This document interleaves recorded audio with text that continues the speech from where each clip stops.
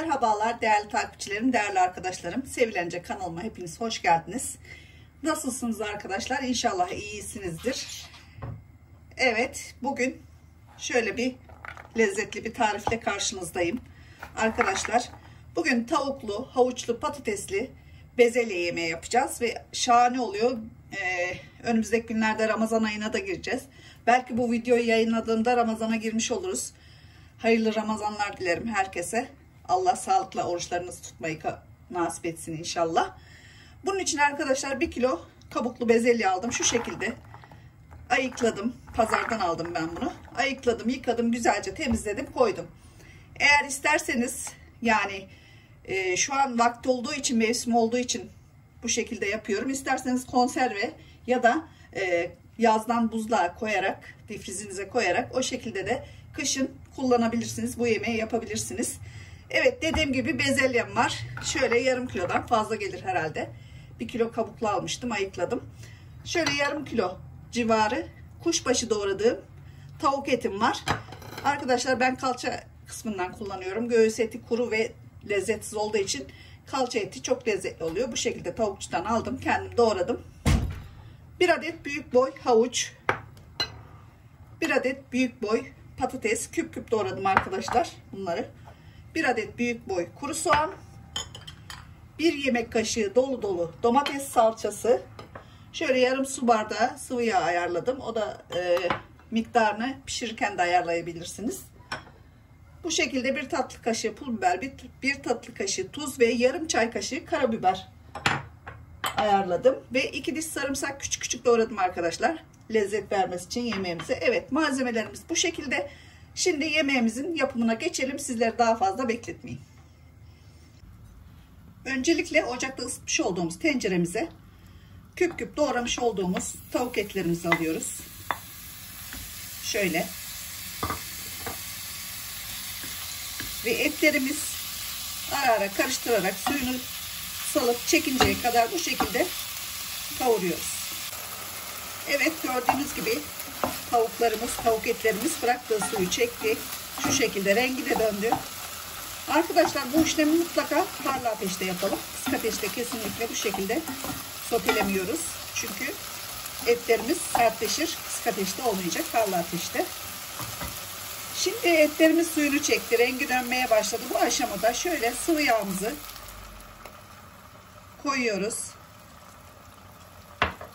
Ve arkasından doğramış olduğumuz yemeklik kuru soğanlarımızı ilave ediyoruz.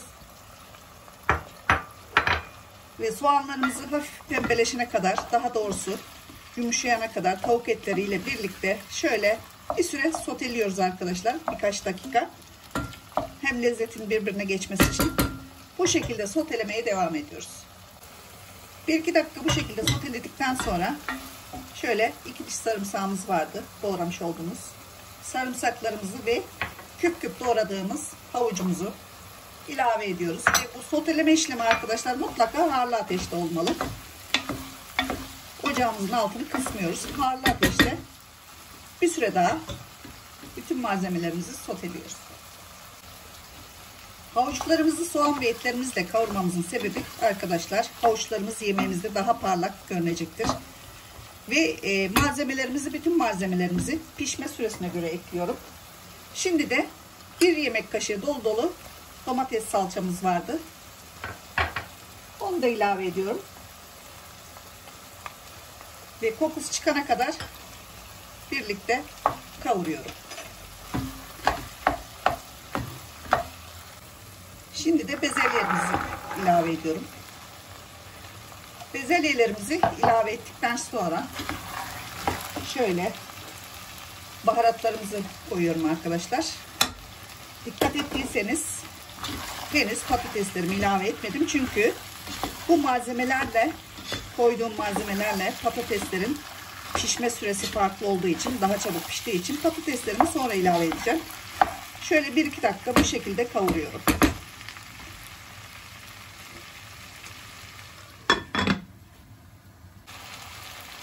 Kavurma işlemi sırasında bir adet kesme şeker atıyorum. Şöyle birkaç dakika daha kavurdum arkadaşlar. Ben kavurma işlemini çok yapıyorum bu tür yemeklerde. Çünkü Suyunu koymadan bütün lezzetlerin birbirine geçmesini sağlıyoruz kavurarak. Biraz kavurduktan sonra şöyle sıcak su ilave ediyorum. Şöyle üzerine bayağı geçecek kadar. Hatta biraz daha ilave edebiliriz. Şöyle bir iki parmak geçinceye kadar. Ee, çünkü e, bezelyelerimiz ve havuçlarımız bu aşamada biraz pişecek. Pişmeye yakında patateslerini ilave edeceğiz. Şöyle pişmeye bırakıyorum. Yemeğimiz kaynamaya başladıktan sonra arkadaşlar ocağımızı kısık ayar alıyoruz. Bu şekilde yemeğimiz kısık ayarda yumuşayıncaya kadar pişmeye devam ediyor. Evet yemeğimiz 20-25 dakika pişti. Şöyle bakıyoruz bezelyelerimiz yumuşamış. Şimdi artık patateslerimizi küp küp doğradığımız patateslerimizi ekleyebiliriz. Şöyle bir karıştırıyoruz. Eğer suyu yeterli değilse su ilave edebiliriz arkadaşlar. Ama şu an suyumuz yeterli görünüyor. Zaten patateslerimiz çabuk pişecektir. Bu şekilde patateslerimiz yumuşayana kadar bir süre daha pişiriyoruz. Sonra ocağımızın altını kapatıyoruz. Evet arkadaşlar yemeğimiz pişti. Ben yemeğimi 10-15 dakika kadar dinlendirdim. Mutlaka dinlendirin siz de. Şöyle sizlere tabağıma koyarak göstereyim. Harika bir yemek oldu. Ziyafet sofralarında hatta iftarda bile yapabileceğiniz çok lezzetli farklı bir yemek. Mutlaka tavsiye ederim. Şöyle arkadaşlar. Görüyorsunuz nefis oldu. Evet bugünkü tarifimiz tavuklu, patatesli ve havuçlu bezelye yemeğiydi.